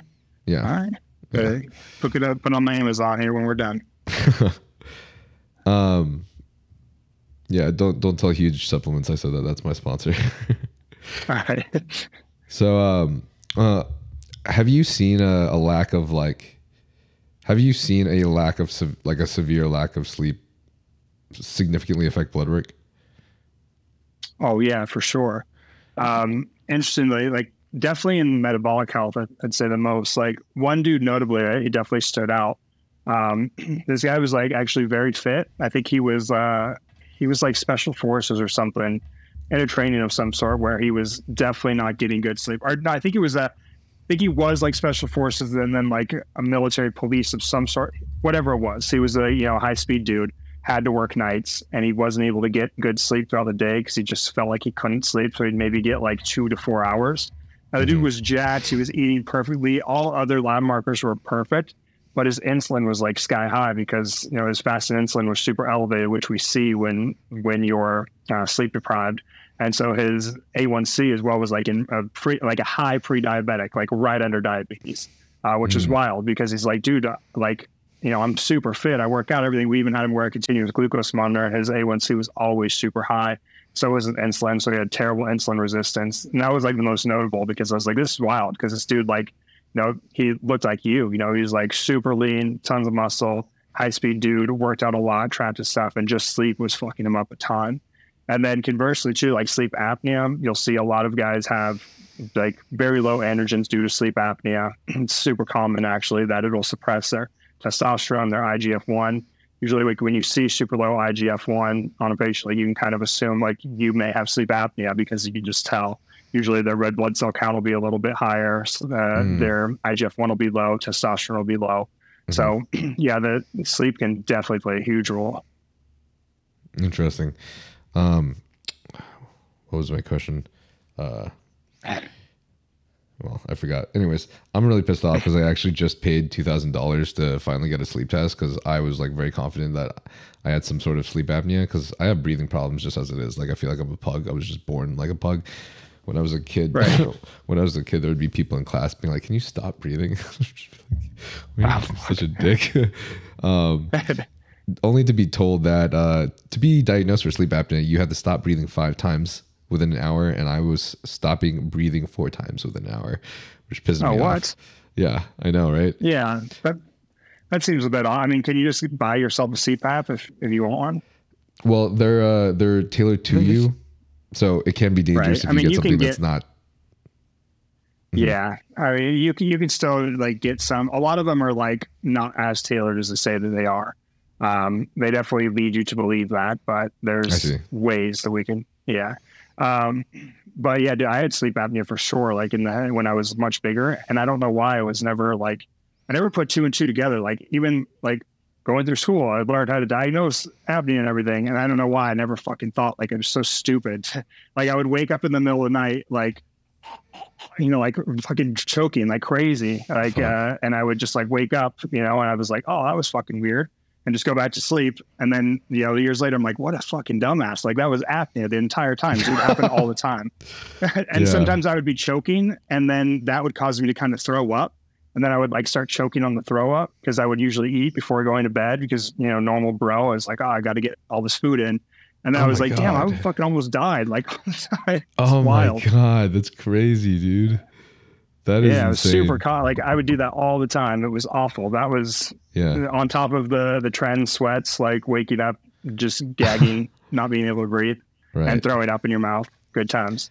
That is definitely a bad form of that's a that's definitely a bad level of sleep apnea though, because uh, the doctor was also telling me he's like in, in, in like our defense, like there's people that uh, wake up like hundred times, two hundred times an hour, so yeah. respectively, Usually, they don't know, which is crazy bad. too. Right. Yeah, right. yeah. No, it's not bad. Um, Wild though. Kind of. I had I had some I had an interesting thing that was a little bit similar when I was a kid. Not not with sleep apnea, but I wish I knew this earlier that you shouldn't be eating huge ass meals before you go to sleep. Like every single day since I was a kid, all the way up to like literally probably a year ago, I would eat a massive meal right before bed, like a massive meal. Really? And the craziest thing is I didn't realize that it was really a problem until I started taking. Uh, I, I, I recall you. I, I recall Mike Bell bringing this up on your podcast until I, until I started taking um, kratom. Melatonin. Oh, kratom. kratom yeah. Right. Um, I don't know if it works like semaglutide, but I know they both slow your digestion down. And with taking kratom, I ended up I ended up getting severely, severely sick for an entire week because I was taking kratom at crazy dosages, and then I ate massive, like I ate a massive meal before bed, and sometimes because I didn't get my protein in during the day because I was on kratom, I would eat extra protein. So I'd have like a 75 gram protein meal before bed. And when I went to sleep, dude, I, I gave myself uh, a IBS just from it sitting in my gut with kratom and 75 grams of protein. And I got fucking Why were you taking so much sick. kratom? Uh, dude, kratom's addicting. it's what people should. True. Yeah, yeah, yeah. I mean, it is like opioid. Yeah, right. for sure. That's crazy, right. man. I know. Like when I was on the Mark Bell podcast, like, you want some? Like, no, I don't fucking need to like try a little bit of opioid right now. Like, I'm good. Yeah. And I've never had it at this point. I don't need. They're like, yeah, have some, have some. Like, I think they try to tell every guest before they start their podcast, like, here, have some kratom. Have some kratom. Because they, they've got like their, yeah, I think they're like sponsored or something by one of them, where they have their own company right. or something. And I was like, no, I'm fucking good. I don't need another addiction yeah. in my life. Well, the thing is, uh, every time something, I mean, everyone's different, right? So some yeah. kratom will probably be magnificent for some people, but anytime anyone finds something magnificent, you know, they're a proponent of it, right? Like True. vegans, carnivore diet, yeah, kratom, yeah. weed, literally anything, right? If, if it helps you right. significantly, you're going to be a big proponent of it. So I can understand people's for position, sure. but, uh, for sure. Kratom was amazing for me and it was able to like it was a nice substitute to caffeine but um if you're a bodybuilder and you're eating five meals a day it's definitely not optimal. Yeah i mean well like you said it's going to basically suppress your appetite pretty significantly. Um i got a guy recently who was on kratom because he just got randomly addicted to it and then also like adderall and the dude mm-hmm. was just like skin and bones. He's like, I literally can't eat like nothing I do. So we were like, all right, we're gonna wean you off this kratom and go on some like MK six seven seven or something. Um, you know, we need to stimulate appetite in some yeah. way. Yeah, I hate MK six seven seven because my my stomach is literally it's never ending, dude. I have a raging oh, appetite hunger? as it is already. Yeah. Yeah. Yeah, me too. Or I used to. Now I'm not really that driven anymore. Now that I'm like not restrictive in any way, and I just have whatever, and I don't need to track. Like, food's not that important to me anymore. It's mm-hmm. crazy though when you're like in that bodybuilding space. Like I was super food driven, like all the time. I would just think about my next meal. Like in my tracking app too, I'd wake up and like start putting on all my food for the whole day, like knowing, oh, this meal's going to be this and this meal's going to be that, and I can yeah. have this at that time, like crazy. Now I'm just like, oh, whatever. Yeah, it's a crazy obsession for sure. I've experienced yeah. both both sides, and um, I don't know. It's interesting. Definitely, when it I was is. eating a lot less food, though, uh, each meal would like significantly impact impact my cognitive function versus like now that I'm bulking on 3,000 calories. So 1,800 calorie Nyle um, could not consume a 50 gram protein meal in the morning without feeling like he needed to go to sleep versus 3,000 calorie protein Nyle who can consume 50 grams of protein in the morning and still go and like take a jog if I need to, even though I don't jog. But that was just yeah. You know, you know. Interesting. I've never felt like in the morning I always wake up super hungry always, and I've never felt like it like negatively impacts my cognition or my energy or anything. But midday I can't eat. Pretty much even like in my days of like bodybuilding and stuff, I wouldn't eat throughout the entire day. I would eat in the beginning of the day, and then after all my shit was done throughout the night. Mm-hmm um, because in the day if I ate, I was just zonked. Um, right. Probably like I'm guessing probably in the morning I have like such high cortisol just from waking up that it kind of fuels me, and I don't uh kind of crash from the food. But midday, right. even now, like I eat probably 4 a.m. in the morning, then I don't eat again until like 6 37 at night most nights. Okay. You guys are willing to help fund the podcast, which would also be extremely helpful. Then you guys can uh, buy uh, some clothing from YoungLA or some uh, supplements from Huge Supplements and use code Nyle for a 50% discount off of that. Insulin resistance, something that I'm super interested in because, you know, this is this is a big issue when it comes to just health in general and then also especially in the bodybuilding industry. And if you're a bodybuilder, yeah. that's what I'm curious about. How how how would you uh, recommend somebody fight insulin resistance as a bodybuilder who needs to continuously eat that amount of carbs? yeah, I think that's where tools like metformin come in, um, berberine. You know, mm-hmm. so those would probably be the two while you're in like a an actual bulk. Um, mm-hmm. And then I think bodybuilders are likely, like bodybuilders who are kind of cycling between gaining and then cutting. Are likely probably okay because they go through a pretty severe caloric restriction for a while, and usually just being in a caloric deficit of any amount improves insulin sensitivity pretty significantly. So I think bodybuilders are usually pretty good when the, those guys like, especially like powerlifters, just go on like a perma bulk and they're just nonstop, always in either a high maintenance or surplus. That's when you know there's more danger. But like if I was in a bodybuilding phase and, I, and my labs are looking like I was getting like insulin resistant, you know, I think metformin would definitely be something I would use, which I, I did use in the past too. Um, okay. A lot of people will say, you know, they fear like the the IGF one lowering. I'm like, dude, you're on so many drugs, MK, like 500 milligrams yeah. of, of it's not going to be a big deal. okay, okay, yeah, that's um like metformin and berberine, right? Suppressing uh, what is it? The M, like the mTOR pathway or something. Yeah, but I mean, it's it's so it's so small, um, especially the mTOR, IGF one. It can lower both those. Um, but when you look at like the data, when you actually put it into practice, there was one study, and all the guys I believe in the study were above 65. So that's not you. It's not you know our co- cohort. Um, mm-hmm. They were eating like 50 grams of protein a day, and they were taking 1,700 milligrams of metformin and they're like, oh, they didn't gain weight or they didn't put on muscle. I'm like, no shit. You know, they're 65 eating 50 grams of protein and taking a shit ton of metformin. So, like, when you look at, like, I mean, I've heard like Matt Jansen puts his guys on metformin, and, and you know, I don't know if it's true or not, but like he puts out some of the best athletes in the world, you know, right. on the bodybuilding stage. Right. So, you know, there I've definitely known a lot of big pros who use metformin and are huge. Uh-huh. Like, you know, they're not shrinking because of taking 500 milligrams of metformin right. at bed. I believe that too. Um, uh, with all the anecdotal evidence I've seen in the industry, especially with coaches as well, every coach that I've spoken with is a proponent of like metformin and berberine, especially since like you know it's good for your your health in general, for your cardiovascular health, your insulin resistance, and then I mean, if you're if you're running like if you're running growth hormone too, like you, you're gonna need something. Oh yeah, alongside you know with all those carbs. Absolutely. And I honestly felt like it would make me a lot fuller, like, you know, because it upregulates the, the glucose receptors and helps us shuttle in glucose in the muscles. Like, mm-hmm. I would definitely feel like I had a fuller look while running that metformin, which is plus. Okay, nice. Yeah. yeah. Nice. I've, uh, I haven't run above 750 milligrams of berberine yet, but, uh, I don't know.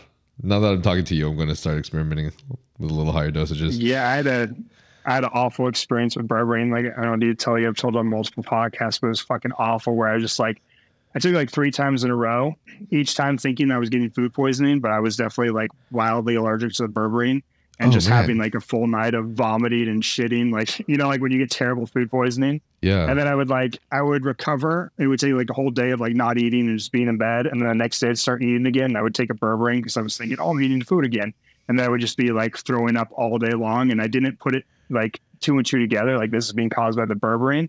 I thought I had like pancreatitis. I thought I was dying from the gear. And I was like, something's wrong with me. I'm like, think Damn, I'm gonna die. Dude. Then I realized like, oh, it's just berberine. Um, that was just like my. I think like I don't know if it was the brand was just tainted with some nasty shit or, or what it was, but it tore right. me up. I'm so afraid of berberine now. And now you don't. Yeah, now you're afraid. Yeah, Damn, like metformin, sucks, dude. I don't even get. I don't even get like a, a loose stool. Metformin doesn't even change anything right. in my GI, okay, but berberine cool. just messed me up. Nice. See, I get I've got psychological issues with berberine simply because I've been reading forums and people are talking about how they, they have these issues when they take berberine. Some people do. Some oh, people have these issues. Some people feel like shit. I'm glad like, I'm not alone. Some people can't go to sleep, whereas other people it helps them go to sleep. You know, it's weird. So right. Um, I don't think I've felt any difference. I don't think I've felt any difference so far, but yeah. I'm pretty paranoid because of it. Yeah, I mean, like we'll use it a lot um, with clients and things, and they get really good results from it. It can help lipids too. It can even seems to have like a positive lowering effect on LP little a, which is a, a really detrimental right. cardiovascular marker. So you know, it seems to be overall pretty pretty badass of a, like a medication or okay. a supplement rather. Okay, cool. That's good to hear. Helps me yeah. feel a little bit better. All right. So for the uh for the naturals out there, how for yeah, for the naturals out there, how difficult is it to maintain healthy blood work? I don't think it's hard at all, really. Right? I mean, you know, yeah, I, I well in today's day and age, you know, I think people just aren't eating healthy is the main one. They're eating too much. They're not mm-hmm. prioritizing micronutrients. They probably have way too much saturated fat, way too many simple sugars. Um, but I mean, honestly, unless you're genetically prone to like, you know, elevated lipid levels, it's probably not that hard. You just have to mm-hmm. maintain some amount of movement throughout the day. Not even a ton to stay like pretty insulin sensitive. I feel like just don't eat like asshole, you know? Right. And then to maintain good lipids, if you have normal genetics, again, mm-hmm. just like cut down on your saturated fat, eat a decent amount of fiber, and probably not bad. I mm-hmm. would say even on a even somebody who's running a shit ton of gear, like it shouldn't be that hard to keep your lab work looking good if you're eating like appropriately. And then you can you can take things here and there like berberine or metformin, maybe like ezetimibe for your lipids. But it's really not that hard to have pretty decent labs. Um, does ezetimibe have any uh, like side effects or disadvantages to it? In my opinion, not really. Um, like I heard on a, a podcast, Peter Attia literally said it has no side effects, and I was like, "Ooh, that's kind of ballsy." I don't know if I'd ever say any medication has no side effects. um, I think it's very low in the way that because the way that it works is just in the gut, so it blocks the absorption of cholesterol and not dietary cholesterol as much. I mean, to some extent, but that doesn't really matter. Um, our liver makes cholesterol and it dumps it into our gut where it mixes with bile, and then it goes through our intestine, and gets reabsorbed into the liver. So you block that reabsorption, and the liver will sense like it's getting less cholesterol in mm-hmm. at that point. So it increases its surface LDL receptors and starts to use up more of, of your own cholesterol in circulation. So it's kind of this nice mechanism that doesn't lead to like shutting down cholesterol synthesis like statins do, which is what causes the side effects and things. So I've never seen anybody run into an issue with ezetimibe. I mean, you know, just since it's working in the gut, then potentially, you know, there's the the risk of some gut issues, but I've never seen it. I've been on it for five years now, and I can never tell if I'm on it or not. Like it's, you know, I Oh, wow. no difference. like straight for five years? Yeah. Okay, yeah. so- kind of when I, I started getting more interested in like longevity, probably around five years ago, and I just Okay. started getting really serious about my lipids. And now I'm just like crazy about it. So I just try to keep my lipids and my ApoB as low as possible. So for bodybuilders, especially those that are trying to compete, like on a pro stage, it's probably something you would recommend. Yeah, like you know, I don't like to make any broad recommendations or blanket statements, but I think like ezetimibe and telmisartan are probably two of like the best medications and for a bodybuilder, or some type of doesn't necessarily be telmisartan, but some type of blood pressure medication that works in that pathway and ezetimibe. So for the naturals out there versus those that are on PEDs, how difficult would you say it is to maintain healthy blood work? Again, like really not that bad, I don't think. Like you know, people are so afraid of medications and stuff too, which is just insane to me. Um, you know, like if you're somebody who genetically is predis- uh, predispositioned to have elevated ApoB because you have familial hypercholesterolemia or something, like just take a statin and you'll have perfect lab work. You know, you can lower your lipids. Um, but for most guys who let's just say that they don't have any genetic predispositions, actually not that hard. You know, I mean, if you feel if you eat predominantly whole foods, try to reduce your you know Mhm. processed foods, just try to move around in some amount, which is you know hopefully resistance training three to four times a week, hopefully at least walking every day. Like your labs are going to look pretty damn good, and then sleep, of course, like we already talked about. Um, I think there's just you know so many people are just still eating a shit ton of fast food and just getting you know trash trash food. I, I don't think a lot of people cook for themselves. They're probably not prioritizing whole foods like a guy like yourself would be. And so labs just look awful when they come in when they're just normal gen pop. You know, it's, it's terrible. Mm-hmm. So my one concern is that there are a lot of people out there that believe that if they just take steroids and they can eat anything and they'll still look great. And I think my argument Yeah. that I want to put out is that it's kind of the opposite of what you want to do if you're taking any For sure. gear. I had a friend that was asking me about this too, and I was just like, honestly, bro, it would probably be better that you ate McDonald's less when you jumped on gear for the first time than eating McDonald's now, which convinced him not to take PEDs. But um, Yeah, it's 100% agree. I mean, if you look at like, look at like strength, uh, what are they, the strongmen and the powerlifters, like guys who don't care about their physique. You know, some powerlifters are super shredded and jacked, but mhm, if you look at that demographic, they're usually on like really high amounts of drugs. They don't look great because they're just shoveling a shit ton of food to meet their weight requirements, you know, lift the weight that they need to. So you don't just magically look amazing just because you're on a shit ton of drugs. And that's like the prime example.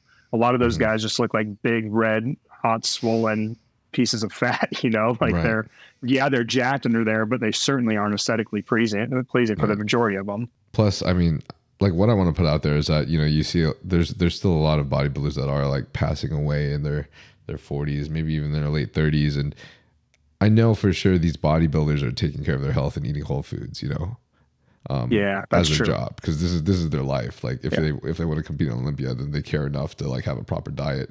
So much less yeah. like you, whoever you are, who might want to be eating like McDonald's and crap like that. Like, I mean, if you if you don't really care about potentially dying, then I think it's a probably it was probably good to know that you need to be more on top of your diet when you're on PEDs than when you're not. Yeah, absolutely. And just like on top of your lab work in general, because like if you're going down the road of PEDs, then you're already using pharmaceuticals, you know, you're already dabbling in drugs. Why not add some drugs in that will help to counteract it? You know, like keep an eye on your blood pressure. Like mm-hmm. if that's going over 120 over 80, do something about it. There's no need to have lower or elevated blood pressure. If your ApoB is going above like 80, do something about it. You know, and these are two things that will keep you healthy and living long. You know, if you can keep your blood pressure down, you can stay insulin sensitive, and you keep your ApoB down, you're going to be fine. Like in my opinion. What are some ways that you recommend keeping your ApoB down? So is that in my? I mean, well, first, like dietary, just trying to reduce saturated fat, increase fiber intake. Those are usually the two. Having some a good amount of cardiovascular work in to um, increase HDL. I uh, just had a um, what was it, Dr. Twineman on my podcast recently, cardiologist, super interesting one where he talked about kind of some obscure things like certain light principles and, and grounding and stuff. He's, he's an MD, but super into like holistic stuff too. It was pretty interesting. He hmm. has some like legit, legitimate uh, literature behind it. But I think um, first, you know, diet, lifestyle, sleep, sun exposure, all that kind of stuff. Then like medication, you know, that's where like ezetimibe comes in. If you're somebody whose levels are still high, even though you're on ezetimibe since it's not very strong, like why are you going to be afraid of a statin when you're taking tren and d-bol and you know all these crazy things like you're afraid of a statin really like come on like just use that so that you don't die you know what i mean mm-hmm. yeah yeah right okay cool i'm i'm absorbing yeah. this because i'm one of those guys that was afraid of a statin for some time but dude i've so I like uh, rosuvastatin. Doesn't cross the blood-brain barrier. Has a really low amount of side effects. Okay. Um, I took a combo of ezetimibe and rosuvastatin, and like I have very normal lipids if I don't take any medication. Like my mm. ApoB would maybe be like 70, um, but I'm just kind of crazy and anal about it. And now that I'm not like in the bodybuilding trying to get crazy jacks phase, I'm in like this crazy longevity where I'm just trying to do everything that I can for that. So right. I just tried to crush my lipids to see what it would look like or feel like, and I got my ApoB down to like 20 with a combination of rosuvastatin and uh. Didn't feel anything, like no brain fog, no muscle fatigue, still work out just fine.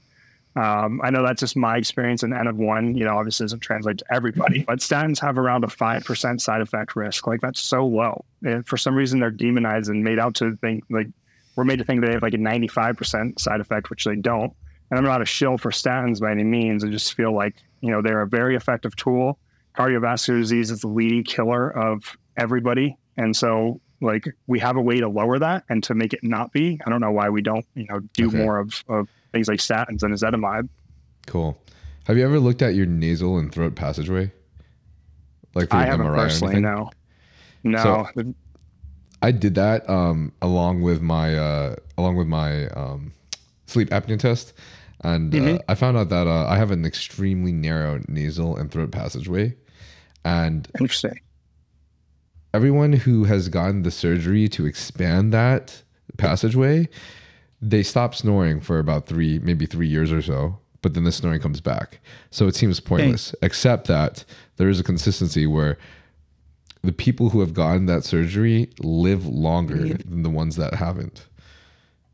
Interesting. Which to me makes so there's sense. like there's like data that supports like the surgery extends life. I don't know the data. Um, I don't know the actual research myself, so I don't want to like whatever. But at least this is what no. the the doctors told were telling me. Gotcha. Um, yeah. And honestly, it, it, does make sense to me because there is research that shows that sleep apnea, you know, shortens lifespans, right? Yeah, so absolutely. If you if you're having trouble breathing at night, I mean, imagine if you're having trouble just breathing in general, you know right then I'm, I, I would that would make sense that you know having that surgery might help so Yeah, I absolutely. was No, I never had mine looked at. I think like now I don't ever wake up and everything. I think it was just because my neck was bigger at the time. Um, but I know, it see- would be super. I want to see. I want to see pictures of this Adam. this Dude, I big don't neck know. I- yeah. I guess it was like you know I, I got up to like two forty and I'm five eleven, which you know it's not huge, but big enough to choke when you're sleeping. I guess Damn. Wait, how much do you weigh now? Like two hundred. Holy shit. I know. That's crazy. That reminded me. Dude, I feel so fucking strong. I know, dude. Dude, like when I get out of the shower, I look over. I'm just like, fuck. You know, like I mean, I look like lean. I know when I go to the gym and I get a pump, like people think that I work out, which is cool. But there's definitely always going to be that part of me that just like, you know, like it nags in your head, like, fuck, you're so small now. Like, you know, traps are gone down, Yeah. like delts aren't bloated anymore. Like everything just looks like just normal. And I'm like, uh, I mean, I look way better in a suit, which is nice.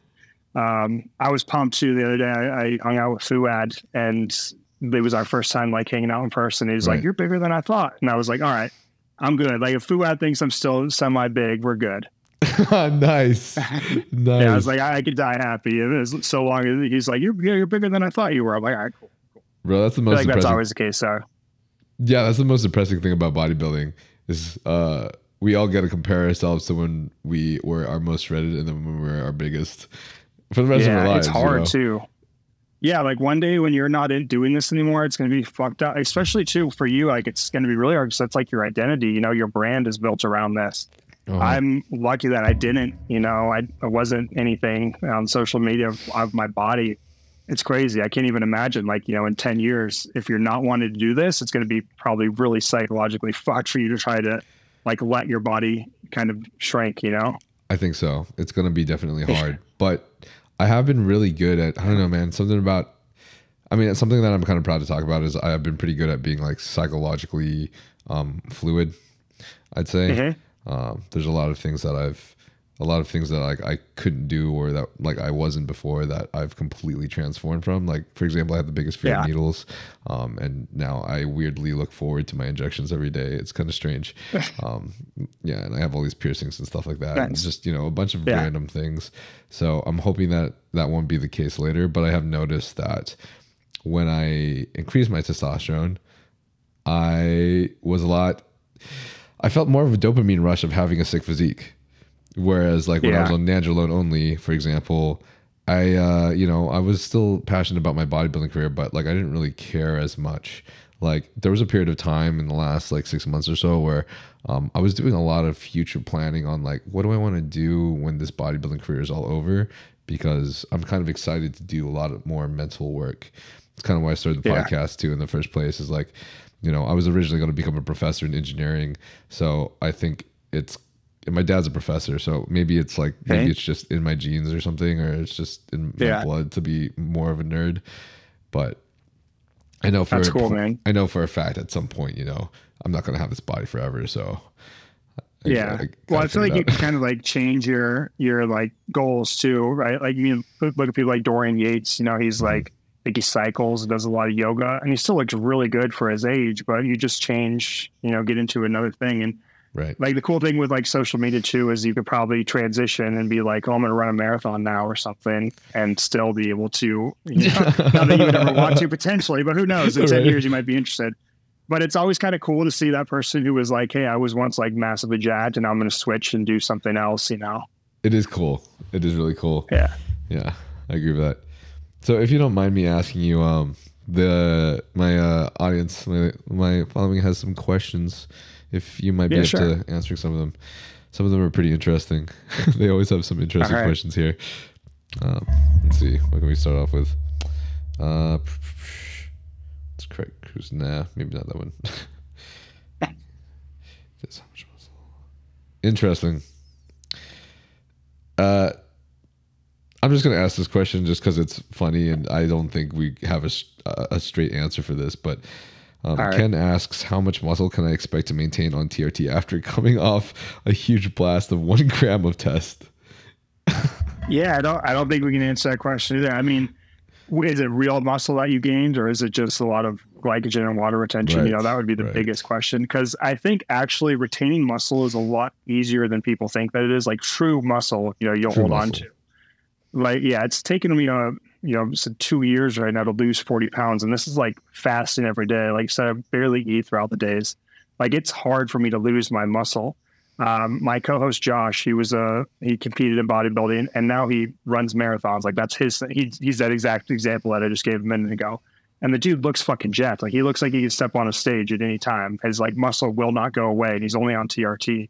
So awesome. actually losing true hardened muscle is hard. Mm-hmm. Fouad another example. Like the dude literally can't lose his muscle. We're literally trying to make him lose weight to help his kidneys, and he like can't do it. Like it, it's so hard for him to drop the muscle, you know, because he's like, I, I, want to lose weight. He's doing everything that he can, and his muscle's just hanging out at like 270.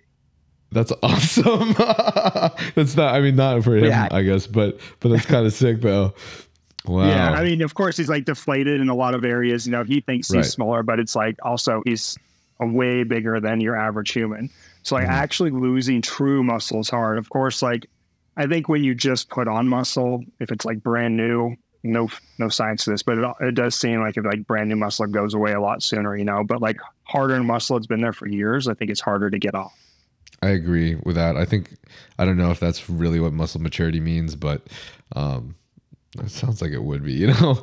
And uh, I, yeah. I think that uh, I think I think a lot of people that um, a lot of people who like to do the whole natty or not thing or like talk about who's you know like what PEDs or whatever on the forums and stuff. I think a lot of people don't realize that it is a lot of the size you gain from PEDs in a short blast or a short cycle is water and glycogen. And people are like, wow, you yeah, can literally sure. transform off of PEDs. Like you could just do tren. Like that's probably all he did. He probably just doesn't even put in the work as much of a natty. And like that's not the case, bro. That's not the case. No. The hard earned the hard earned muscle is from the sleep, is from the like the food, right? Like you you can't yeah. Like I can say this myself from the last three years of experience. I gained zero muscle in the last three to four years because I was always in a deficit to look shredded. Yep. Right.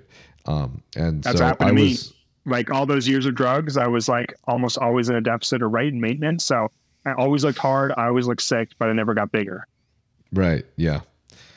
And uh, now that I'm finally eating food, I jumped from 170 pounds to 183. So it's, yep. and I've never been this heavy. I've never eaten this many calories, but I also still see my abs. So I think people underestimate yeah. just how much, like, I think uh, that PEDs just allow you to put in more of what you're supposed to be putting in. And that's yeah, what gets sure. you the results, not just. Yeah blasting stuff and then you get huge because you only look like that for like the cycle and then it's gone. Exactly, hundred percent agree. Yeah, I mean, I, my my smallest cycle, I put on the most amount of weight because it was a time like you. I was like, oh, finally going to eat a lot, and then I was like on such a small amount. I think it was on like 300 testosterone and like 300 nandrolone. I just did like a 50-50, and I was like gained like insane because I was actually eating, and I didn't care if I was going to put on some fat, but I just like blew up. And I was like, oh, it's crazy what food will do. You know, I just wasted like yeah, five years yeah. running a shit ton of stuff. Right, like I could have right. just ate more food. What a surprise. Right. You hear every bodybuilding coach say this, and I feel like all these people that I know. all these people that like, you know, want to judge people on PEDs or anything are gonna say, like, they just say this because they don't want to talk about like the PEDs they take. But literally every like every all the best bodybuilding coaches ever say the most anabolic stuff. The most anabolic thing is sleep and food. You know, sleep, yep. food, and then some hard training. And it's 100%. facts, dude. It's facts. Yep. What a surprise. Who would have thought? um, this is an interesting one. So Fee asks, had a heart attack and a stent put in. Can I continue with HRT? HRT, likely so. Um, just HRT, you know, and not doing like any HRT plus or anything. Uh, there was just a, a, recent study um, came out last week or two weeks ago, uh, but it was like the first randomized controlled trial for TRT and heart disease, and they found that there was like no increased risk of heart disease. It's not 100% true because they did see an increased risk in AFib and uh, like venous thrombo- thrombotic events like VTs or deep vein thromboses. Um, but I would say overall, like if this dude has a stent, obviously, you know, this isn't medical advice, but if you're a cardiologist and everything is, is okay with it, Monet, probably not going to be an increased risk. Um, going back to like the, you know, the TRT versus steroids thing, like this is literally, a lot of people get afraid of TRT, but I'm like, if it's actual TRT, you're literally just giving your body what it should already have, you know, normally and healthily. So it's like, you know, nobody would freak out if they were like taking vitamin D because we know supplementing with vitamin D, which is a hormone, replenishes and replaces a, another hormone, you know, that should otherwise be there. And that's how I see testosterone too. Of course, when it's abused, there's issues, but if you're just using TRT, that probably isn't going to be cardiovascular issues. Okay, gotcha. Non-surgical options to help reduce gyno. Yeah, raloxifene is probably the best, which is a, a SERM selective estrogen receptor modulator. It's just the selective part is for breast tissue. Um, so just like in clomiphene, uh, you know, all those those SERMs, raloxifene is probably the best because it's selective towards gyno. Um, but if it's if it's long-standing gyno, there's probably not you know much you're going to be able to do about it. So after a while, like if you've had it since puberty, you're probably screwed unless you get surgery. Mm-hmm. you're probably screwed, sad boy. Also, try to get as lean as you can too, because I feel like a lot of guys like they think they have gyno just because they're holding fat around their nipple. I don't know if mm-hmm. a lot mm-hmm. of people even really know what gyno is. So you know, like I've seen you guys like on consults and stuff like show me, and I'm like, dude, you're just kind of fat. You know, like get lean, that's gonna look good. like I don't tell them that, but I'm like, I think you can right. just get a little leaner. Right, right, right, right. Um, Thoic asks any long term side effects to moderate test usage. Any long term side effects to moderate test usage? No other compounds involved. Oh, moderate? Pro- hard to say, but likely not. I mean, what's moderate? Like, are we talking like 500 milligrams? Because that's probably, I don't know. What would you say moderate is these days? Oh, 300? moderate moderate test usage. Oh, I, for some reason I was assuming he he meant like TRT if no other compounds are involved. Um, yeah, I don't know so what moderate like, means. It's very relative. Yeah. So I mean, if we're talking like TRT again, I'm really going to say like I don't think there's risks of like TRT when somebody needs it because we're replacing normal physiologic you know doses, mm-hmm. getting you where you should be. I would say mod. I would think moderate, since it's in between like mild and severe, would maybe be like 300 to 500. Maybe I don't know. 500 is pretty high too. Let's say 300. I would say mm-hmm. there's probably some risk because you're going to be suppressing HDL pretty significantly. You're going to be increasing LDL a touch, maybe. Um, maybe there's some like oxidative stress by elevated androgens. I don't know. Hard to say. Monitor your lab work. That's all you can all you can do. Right. Gotcha. Hmm. Uh, what's something to try if I want better recovery? Dude, I actually heard you talk about this. I saw on your uh, your reels there, glutathione. That's like something. I'm I freaking love. You like glutathione too, right? I love glutathione. Dude, glutathione's nuts. Like, I I don't get too excited about supplements, and I feel like like all the compounds I've ever tried, like even like Tren, you know, I was very unimpressed with anything that I've ever done. Glutathione uh, actually was like very surprisingly effective for me. And first time I used it was about a year ago. I got roped into one of those Spartan races, and I do very little cardio. I mainly do like resistance training, and I got roped into doing a 10 mile run and all those fucking obstacles. And I was like, shit, I'm gonna get rhabdo. This is gonna suck because uh, I didn't train for it at all. And we did the whole thing, and I was like cramping up the whole time. I thought I was dying. Um, at the end, I just hit myself up with like 600 milligrams of glutathione. The next day, I was like barely sore. It was insane. I was like, oh wow. shit, this is crazy. And then uh, I use it too, like every time that I feel like I have a sickness coming on. Um, you know, like when you have a sickness, you can almost always feel it the day before. Like at least I can. You know, you get like a scratchy throat. You're like, fuck, like I'm about to get sick. That's usually when I'll hit up some yeah. glutathione. Almost always knocks it down. Nice, nice, yeah. My reel is hilarious. Vigorous Steve loves the reel that I posted, but it's it's so funny because I was I was kind of making a joke, but I mean it's also true. You know what I mean? I didn't want to encourage people to take rave drugs or anything, but oh, yeah. The fact of the matter is, if you're feeling pretty sick from going to an event with a big crowd like that or something like that, glutathione is probably going to be significant help. Yeah. anything yeah, else that like you could possibly take. Right. Right, for sure. And then outside of that, I mean, again, just food, you know, like if you're not eating enough, you're not going to recover enough. And then sleep too, the big things. Mm-hmm. Uh, wish we could just repeat this over and over again. You know, sleep well and eat well, and you're going to get all the recovery and gains that you would ever need. But glutathione is pretty impressive. Mm-hmm aside from recovery, uh, I thought I saw something about this in some research, but uh, is there an actual function to glutathione improving hypertrophy or helping muscle gain? I don't know. Yeah, I haven't looked into it. Do you know what like the mechanism was? No, I don't. I don't know. That's what I was. That's what I was asking. Oh. Yeah, I really don't. Yeah, I mean, because I'm not sure of it like as a direct effect, like potentially by reducing oxidative stress and giving a better Mm-hmm. environment for protein synthesis. That would be like one thought, but I don't know if it has like a direct, you know, act on on any hypertrophic pathways. Hmm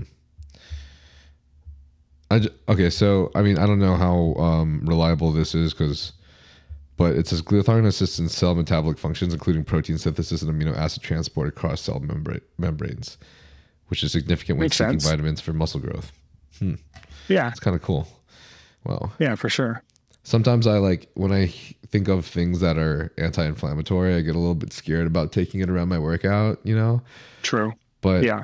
I don't know. Is that would you say that's true with glutathione, or maybe it doesn't really make much of a difference? I don't know. Yeah, I mean, actually, when we recommend it, we'll tell people to use it away from a workout. You know, it's hard because your body, every cell has glutathione, and so you're never going to not like have glutathione in your body. Mhm. Um, it's as you said, responsible right there for like protein synthesis and transport. Um, I would say like a mega dose, I would keep away from my workout. I would probably use it, you know, at least like four, six hours away from a workout. Okay, gotcha. Cool. Um, Mary asks PEDs or peptides with girls on birth control, specifically the depot shot or Nexplanon. Nexplanon. Next one on. Yeah, it's like that implant. I don't know. I mean, PEDs and pep. Well, PEDs and peptides. I'm going to say they're the exact same thing.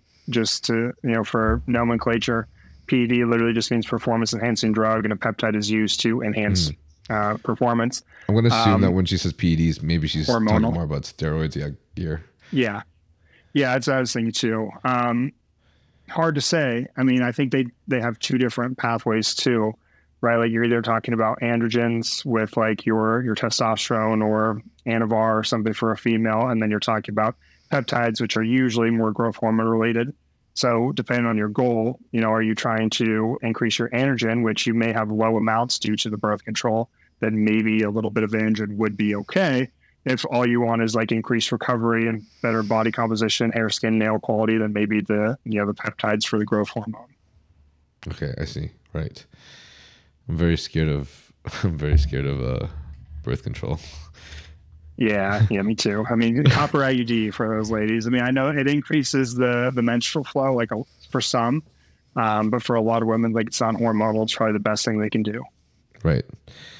Plus, I mean, I felt like shit on Nandrolone only. So if birth control is derived from Nandrolone, I can't imagine how girls feel.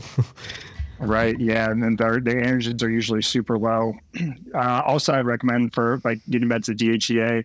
There was a study showing DHEA supplementation with women taking uh, birth control like greatly reduce or increase their physical performance and their subjective feelings. So Right. supplementing with DHEA on birth control, I think, would be a solid thing to do. yeah, I've heard of that as well too. Yeah. Um, d- doesn't that like that brings up their testosterone? Does it increase anything else? Yeah, it can. I mean, DHEA can go a few different ways. Testosterone's one, and the estrogen's one, or testosterone and then estrogen. Um, so in women, though, it is since they're dealing with such little amounts of testosterone, the difference between like a five and a ten testosterone is pretty dramatic. Like it Oh. can potentially increase their testosterone a little bit uh, to a significant amount for them. If you take testosterone and you don't see a change in libido, what is the main cause and what to do? Asked by Davey. Uh, what's the, the main cause of their libido or low libido? I'm guessing. Yeah. If you take testosterone and you don't see a change in libido, what is the main cause and what to do? Yeah, I'm assuming. Yeah, so I'm guessing they're they're quite saying like I have low libido, I take testosterone, that doesn't fix it. What's the cause of this low libido? And that's a super good question. Um, I did. Are you familiar with Dave Lee? Mm-mm. He's really really interesting guy. He's a kind of like a TRT coach out of Australia. Um, him and I just had like a long conversation on my podcast about this. It hasn't come out yet, but we talk about all about like sex and, and hormones and everything. But like libido is so multifactorial. You know, there's so many things that goes into libido and sex drive and sex in general. And everybody just kind of pigeonholes themselves into it's TRT or nothing. And, and you know, that's not the case. Um, one thing is like we just we talked about earlier, you know, like we all look at the our puberty as like the gold standard of libido, which that's crazy. You're going to get to a point where you're no longer like going through puberty and you're going to have normal libido. So do you actually have low libido or do you just have, you know, a, a normal libido now that's no longer like a crazy puberty one? And then also mm-hmm. so many other things like are you watching a shit ton of porn so that you're so like you know you're exposed to such a, a crazy hyper stimulus that when you have normal sex you're not that into it um, are you just completely like dopamine depleted because you're scrolling on tiktok every single day and then you're playing call of duty and you're you know everything that you do is just bang bang bang, bang that you're so depleted that things aren't you know really interesting to you in that regard? Are you sleeping enough? Are you insulin resistant?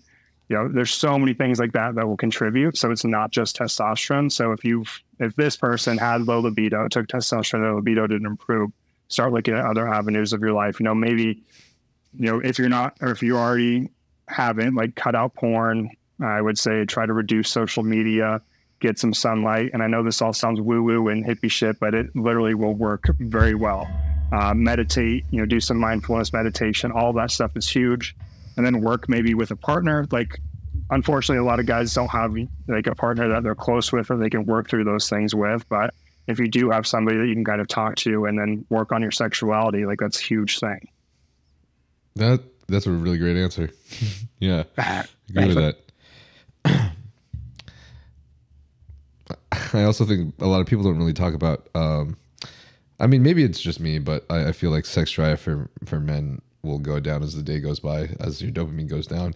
And you know, oh, everyone yeah. wants to have sex before bed, but we're all fried after yeah. work and tired, and we're ready to. Dude, hundred percent. yeah, like my my buddy Josh, I were talking to. Like now that we're at this phase in my life, like we were both joking. Like weekends are like our time now. We're like weekend warriors in the bedroom because I, I full attest this. Like before, you know, like five years ago, we were every single day, all the time. Now I'm just like I'm so fucking tired at the end of the day. Like I just worked for 12 hours straight. Like, you know, I'm exhausted. I'm just, right. you know, not into it.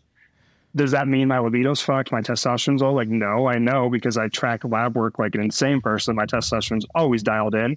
Like, it has mm-hmm. nothing to do with my testosterone, just because I'm a mature adult now who has a million other things on my mind. And sex is one of the last things at this point, you know? Right. Yeah, for sure. The stimulation plus the lack of dopamine. I mean, there's so many reasons why you know, at this yeah, age, a ton it's, of reasons. It's, it's, it's honestly normal for for men to not it's you know have a difficult time getting it up at nighttime. So yeah, for sure. And I mean, literally, just like with like, don't watch porn, don't rub one out for like a few days, and then like tell me that you're not like ready if the the chance you know presents itself. I feel yeah. like most guys like they'll be like, oh, I only like you know they they kind of lie to themselves, but it's so easy to like if you're all alone at home and you know your phone's right there. It's so easy to just be like porn, and then you know you've just fucked up your whole drive because you just let it go. And I'm not saying that I'm completely against porn, but if you're dealing with like you know these arousal issues, then try to cut back on that. You know, because we all know that time when, or I mean, yeah, going back to like puberty, like you had never had a girl yet. You've never experienced that. And like a lot of us, at least when I was younger, it was harder to even get like porn. We didn't have phones and stuff. So mm-hmm. it was like so exciting to finally see like a naked girl and then if you just are overstimulating yourself with that all the time, you get used to it like anything else. Yeah. It's hard to have drive. Right. I know there's I know there's some things out there that people want to say like, oh, like you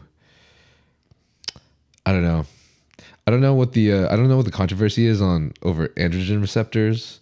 Um, I guess I've heard that like what you increase your androgens if you're taking more gear or something, but I all I know is that no matter what you're doing, assuming everything is like a drug, you build a tolerance to literally everything. Every experience you do, you yeah. know, it, it becomes less stimulating, less exciting because you've really already experienced it. You know what I'm saying? So it's like For sure. same thing with porn, same thing with drugs, even recreational drugs, anything. You're, you're going to build a tolerance, um, and yeah. I believe that's true with gear as well. So that's why you know titrating up, cycling off, all these things pretty important, not yeah. just for blood work but also for effectiveness.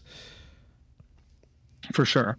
Yeah, I mean, like with the androgen receptor thing, for a while there was kind of this myth that like you desensitize or downregulate receptors, which doesn't seem to be true in the literature. Like when you expose yourself, when you expose your body to androgens, androgen receptors increase and upregulate. But I think there becomes a time when you hit like a saturation point. You know, you can't have more androgen receptors if there's, you know, like not space for them to be occurring. And mm-hmm. then also like a lot of the benefits of some of say androgens aren't only through the androgen receptor. There's the there's different pathways that things can work on too. You know, so um, you're definitely right. I mean, with anything, we build up a tolerance. It's, it's what our body's designed to do, so that things aren't just overstimulating all the time. We just get used to things. Mm-hmm. Michael asks thoughts on too low or too high SHBG levels and its effect from a bodybuilding standpoint.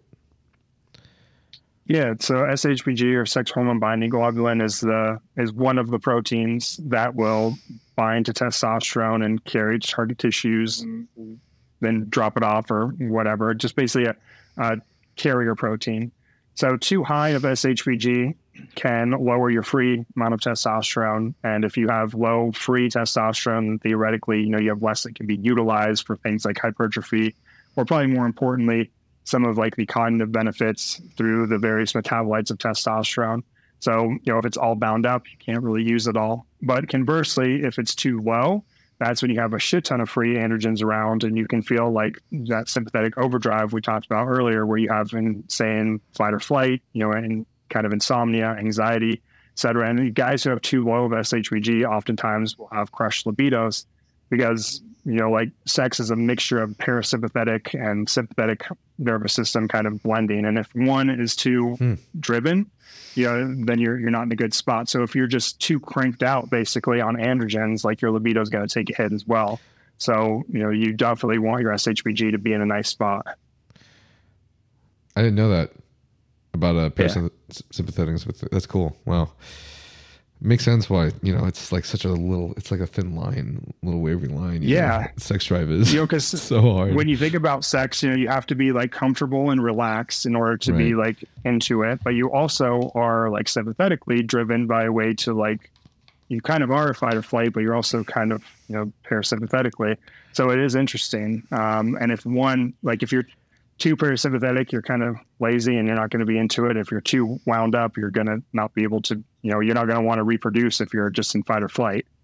Yeah. Yeah. Makes sense. Um, this one is a, I think we kind of talked about this a little bit. Dalton asks blast and cruise versus PCT. Yeah, it's a tough one. I mean, I think I have this bias because of like when I was coming up doing everything, everybody was talking about the blast and cruise was better and I kind of convince myself I can still make a good argument for it. But then there's a lot of people who make a good argument for post cycle therapy too. And I don't know. I mean, the way that I looked at it, the way that I that I thought about it when I was doing that is I was like, you know, I could either kind of mess up my body every 12 weeks and have to take like these female cancer drugs and then be androgen depleted and like building myself back up and just be on this hormonal roller coaster or I could be where I am at least at baseline when I'm on a cruise, like, you know, I've got TRT in, and then every now and then I bump it up and I never have to worry about that roller coaster. I think I still feel that way. Um, depending though, you know, if you've got a guy who only wants to do like maybe two cycles in their life, and for those listening, nobody only does two cycles for your life. You're kidding yourself. You're going to do a lot more. Um, but for that guy, I think it's totally reasonable. You know, if they're like, if they really know, like I don't know, maybe say an actor or something's like, I just need to get jacked for this one role only. You know, you're like Chris Hemsworth, you get jacked for Thor, and then you can go back to being a normal human. Like you can probably do a PCT and, and come right. up and be normal. But if you're a dude who's going to want to continue, I honestly do feel like it's probably safer to just be a, like TRT kind of most of the year, and then every now and then you ramp it up. I agree with that too. That's why I love the arguments about natty or not. No one ever really goes like lifetime natty or not or not life you know no one ever does yeah. that it's it's also like if someone jumped on something like 10 years ago i i just think it's i think it's okay to call him natty right now you know? But true. you know, yeah i guess. Maybe not lifetime yeah it's, natty, it's hard but, to say. but yeah it's funny know. if uh if Jeff Seid just happened to jump on an oral to look good for olympia at like one time in his life I feel like his physique right now doesn't really didn't really change very much. Right. That. But I don't know. You never know. Um, never know. Manic Manic Nav asks excessive heartburn on Cialis. Mm. Yeah, I, I kind of get that too a little bit. So, hmm. Um, Cialis is base, uh, it dilates, vasodilatory, meaning it opens up things and, and it can open up the esophagus too and allow some acid to come up. So it is basically causing acid reflux. Um, so it's actually pretty common to deal with that. There's, that's why I can't really use it too often because of that. Like I get pretty bad heartburn with it. It's uncomfortable. Uh, so some people are prone to that. And if you are, I would say either deal with it or just stop taking it. Like I only take it as needed, which is if I want to pump in the gym sometimes. Okay, gotcha. I'm a big fan of Cialis for sure. also, yeah, especially after stuff. I heard I mean, it's that. great Uh, pumps. right. And it can uh, upregulate the- your receptors too, right? Yeah, know, there's a little bit of research on it, increasing androgen receptors. Um, it can help to, it can kind of help to reduce like aromatization of testosterone too. So theoretically, increasing your levels of free testosterone because less of it is going down the aromatization pathway. So it Mm. does definitely seem to impact testosterone positively in some extent. Okay, that's really interesting. For just the Yeah. for what its purpose is, it's so interesting. It's got all these benefits. For sure. Yeah. I mean, I like it the most for probably the cardiovascular benefits, like the increased nitric oxide on the endothelium and the what's called the glycocalyx in our arteries. Like that's huge. So it definitely can help to promote really like better cardiovascular health to in a certain way. Right. Cardiovascular benefits. Gotcha. Yep. Uh, and um, what are your what are your opinions on um, injectable carnitine? How beneficial do you feel like it is? Tough, man. I I feel like there's people like Alex Keuchel. He wrote the whole like carnitine book on it. I'm not sure if you've looked into that, but he's got a ton of mechanistic data in there. And it makes sense from a mechanistic standpoint. But then there's always a difference between like mechanistic and what actually plays out in real life. Um, using L-carnitine myself, I've never had any crazy experience with it. I think it's been beneficial, but like anything else I've done, it's hard to really be like, oh, this was like life changing, you know? Um, Chase Irons, are you familiar with him? Mhm. Yeah, like Chase is big into L-carnitine for a while. I used to buy that shit from him before, before I like worked with a clinic where I, I bought get it one like vial from him as well. like- did you? Yeah, nice. yeah, I would. Uh, I would buy my my my L-carnitine from Chase. Um, I mean, it was it was decent. I feel I feel like in a bulk, it kept me a little bit leaner.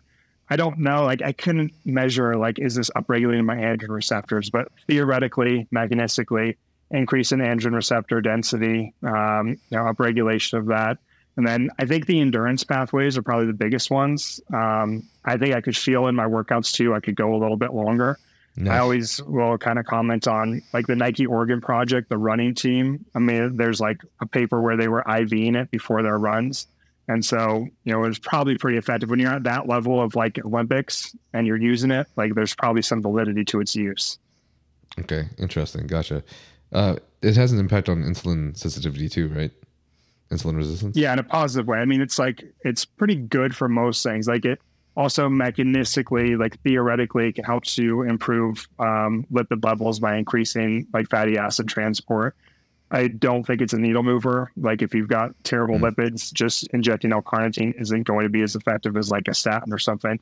But it's one piece of the puzzle, and it can help potentially. Okay. Cool. Nice. Awesome.